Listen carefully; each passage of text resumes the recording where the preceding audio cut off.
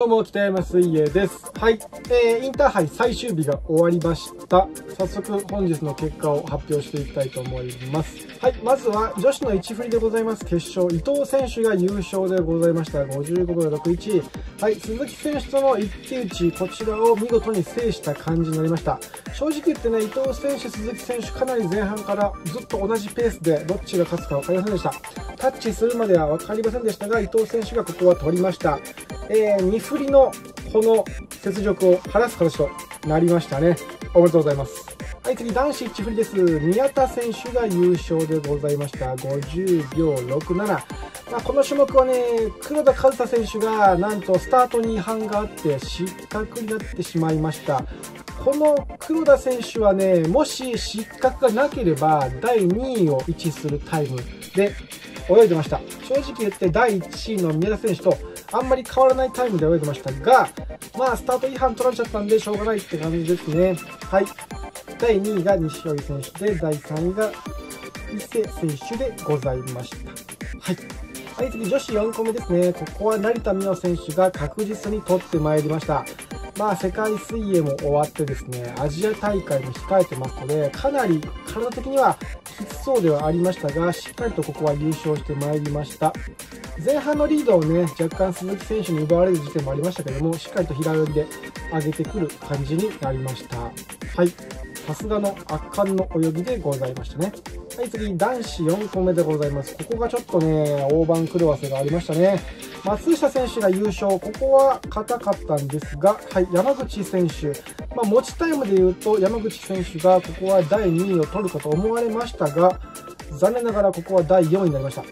この時点でね、松下選手、西川選手、阿部選手、山口選手って速い選手めっちゃいるんですよね。はい。まあ、山口選手12秒かな持ってたんで、もしかするといけると思ったんですが、残念ながらの感じですね。西川選手がおそらくこれベストかな。はい。多分16がベストなんで、15という高タイムで第2位に位置しました。はい。来年のね、高2の選手がここ多いんで、来年も泳げるドンって感じですね。はい、次、女子のメドレーリレーですね。こちらは日大藤沢が取りました。さすが強いですね。まあ、圧倒的ではありました。第2位と2秒の差があります。まあ、正直言って、全員が本当にインターハイ決勝レベル、優勝レベル、表彰台レベルが揃ってるんで、まあ、強くはあるんですが、やはり圧倒的ではありましたね。はい、次男子です。男子のメドレーリレーは湘南工大付属が取りました。おめでとうございます。いやー、まさかですね。はい。しっかりとここは、中京大中京か西大武山がしっかりと追い上げてくるかと思いましたが、そこそこの差を広げて、湘南工大附属が優勝しました。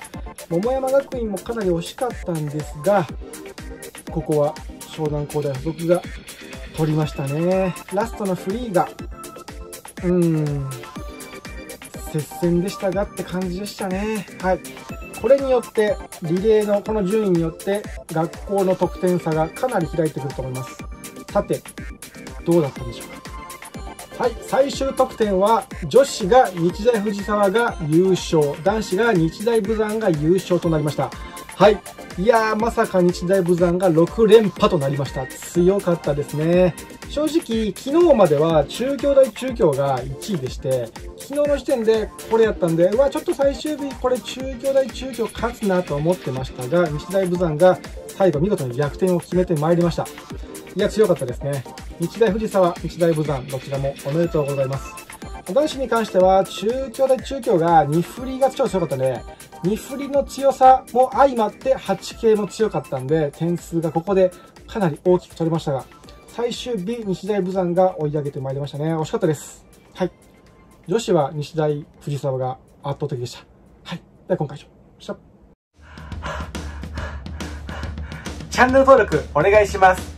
他の水泳あるあるはこっち。そして僕のコンビ、チャイルドプリンスのチャンネル登録はこっちでございます。